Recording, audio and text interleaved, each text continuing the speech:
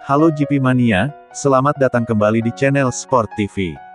Yuk dukung channel ini dengan like, subscribe dan aktifkan lonceng notifikasinya agar tidak ketinggalan info-info menarik seputar dunia MotoGP.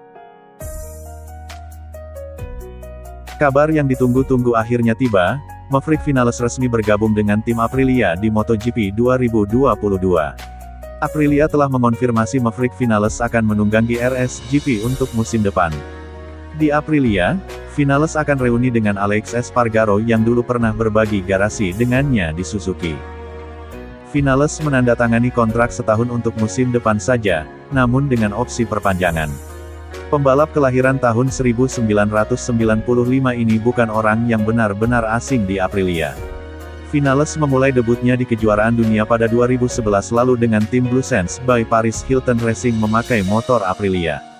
Kala itu Vinales bisa meraih 4 kemenangan dan 5 podium, jadi Rookie of the Year dan mengakhiri musim di posisi ketiga.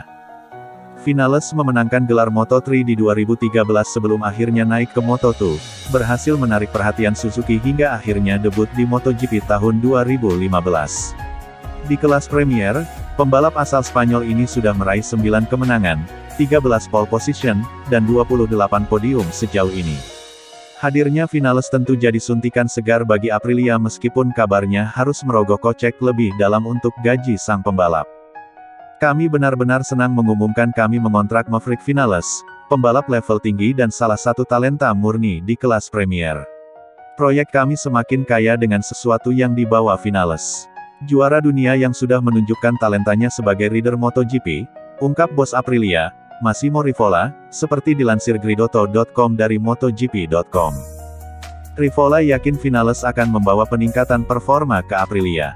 Pengumuman ini membuat Lorenzo Savadori harus kembali menempati posisi lamanya di Aprilia. Aprilia memastikan Savadori tetap berada di Aprilia musim depan sebagai pembalap tes.